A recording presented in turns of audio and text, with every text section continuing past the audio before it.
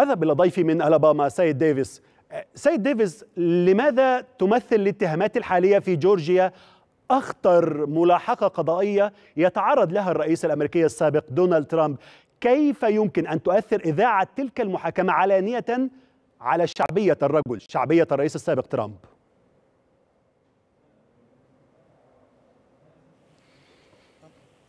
حسنا شكرا اولا لدعوتي في برنامجكم.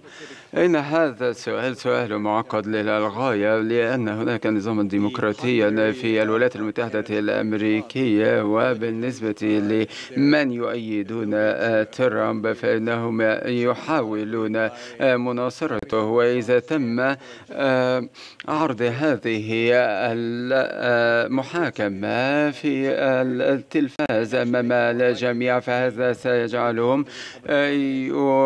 يعلمون أن هناك خطر على مرشحهم الجمهوري القادم.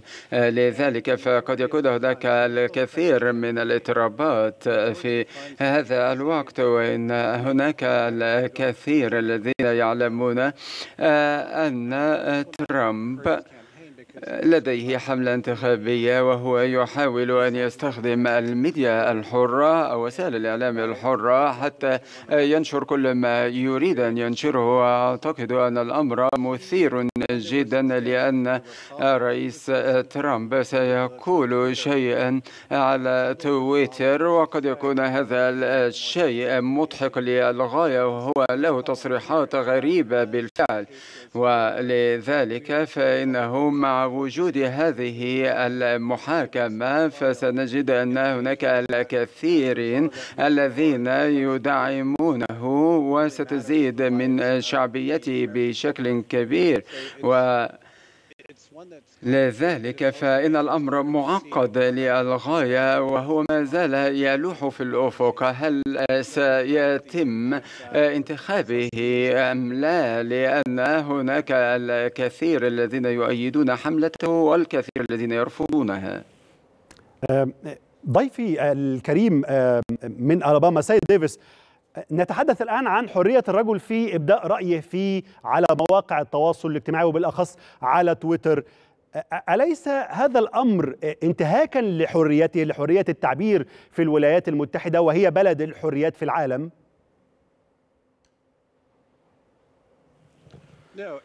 لا كل أحد لديه الحرية أن يعلق ويقول رأيه و لذلك فإن الجميع لديهم الحرية ولديهم أن يحددوا قراراتهم ولذلك فهذا هو الهدف الأسمى من وسائل الإعلام ومن ال social media والكل يكتب رأيه مع ترامب أو ضد ترامب. هذه هي سمة الولايات المتحدة الأمريكية ولا أعتقد أن هناك خرقا للديمقراطية والحرية في الولايات المتحدة الأمريكية.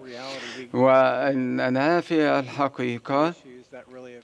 ليس علينا أن ننكر أن هناك بعض المشكلات التي تحدث ولكن هذا يعتبر أمر عارض وليس أمر عام ولدينا الإيمان والاعتقاد بأن الجميع لديه الحرية ومن بينهم ترامب له حريته أن يقول ما يقوله في السوشيال ميديا. و نعتقد أيضا أننا نفهم معنى الديمقراطية ولن نستطيع أن نقول أن أحدا عليه بعض الحواجز أن يقول ما يريد أن قوله لأن ذلك سيخلق مجتمعا منقسما وأضعف مما عليه حتى دول العالم الثالث. نحن نحب ونود أن نظل أقوياء.